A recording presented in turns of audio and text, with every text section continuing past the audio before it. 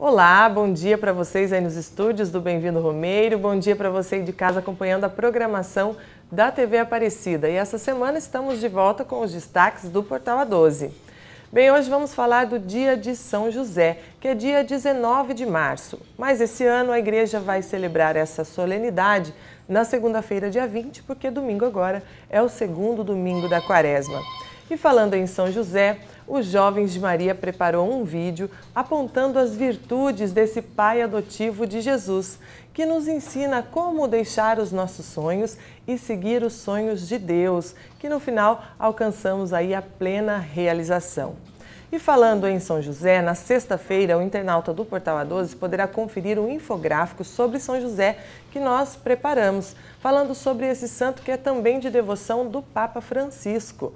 O infográfico intitulado São José, o santo que sonha com os problemas do Papa, mostra como São José tomava atitudes a partir dos sonhos. Bem, falando ainda do Papa Francisco, esse ano ele completa quatro anos de pontificado. Ele tomou posse no dia 19 de março de 2013, o dia de São José.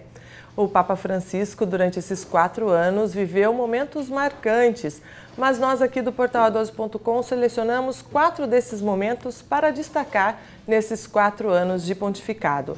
Por exemplo, a visita dele aqui ao Brasil e ao Santuário Nacional. Você confere esse destaque hoje no portal A12.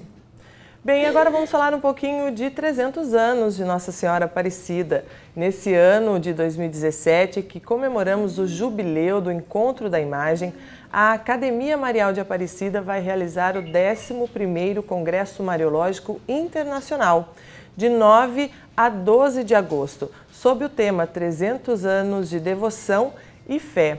Esse evento é voltado para pesquisadores, estudantes, estudiosos de temas relacionados a Nossa Senhora.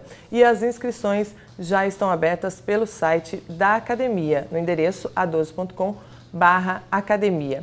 Entre os conferencistas que trarão temas de liturgia e mariologia, também teremos a presença do cardeal Ângelo Amato, que é prefeito da Congregação para a Causa dos Santos no Vaticano. A gente vai ficando por aqui. Se você curtiu esse conteúdo do portal a12.com, deixa aqui o seu comentário, se inscreva no nosso canal e curta também o nosso vídeo.